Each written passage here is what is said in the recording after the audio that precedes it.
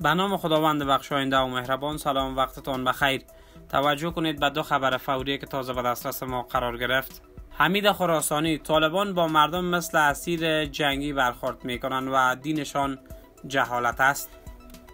عبدالحمید خراسانی فرمانده خودخوانده گروه طالبان با انتقاد شدید از رهبری این گروه در پیام گفته است که دین اسلام نور و روشنایی می آورد و جهالت را از بین می برد اما آنچه طالبان به عنوان دین مطرح می کنند جهالت است نه دین.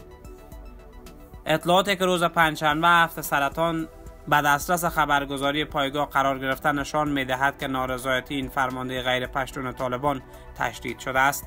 این فرمانده طالبان گفته که روش و رفتار اعضای پشتون تبار رهبری امارت اسلامی طالبان با اعضای غیر پشتون و مردم همانند رفتار با اسرای جنگی است. او تصریح کرده که طالبان مردم را غلام و برده خود فکر می کنند و یک دید عادلانه نسبت به مردم وجود ندارد و قدرت هم در انحصار یک حلقه خاص است. خراسانی خاطر نشان کرده که گروه طالبان به زنان به مسابه یک حیوان ارزش نمی‌دهند. او تاکید کرده من به چشم سر مشاهده کردم و اینها در رسانه ها به چشم مردم خاک می‌زنند ولی در خفا در جمع خود بالای مردم دیگر تمسخر می‌زنند و مردم را به چشم حقارت مینگرند.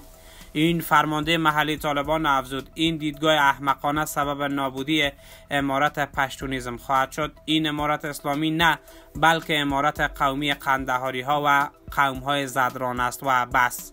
او افزوده که چند تن به نمایندگی از تاجکان و ازبک ها به شمول خاری فسیودین مردمان سمبولیک و بیصلاحیتند خراسانی ادعا کرد که اطلاعات دقیق دارد مبنی بر این که قاری فسیودین ممنوع خروج است و امرش در وزارت دفاع قطعا قابل چالش نیست. او گفته که در مورد فسیودین از نزدیکانش پرسیده است.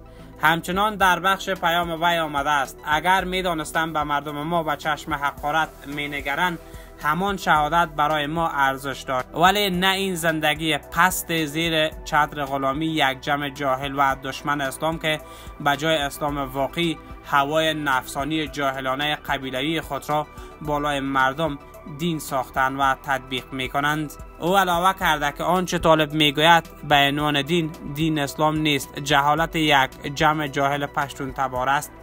دین الله نوری است که جهان را از جهالت و تاریکی ظلم به سوی نور هدایت و راهنمایی می کند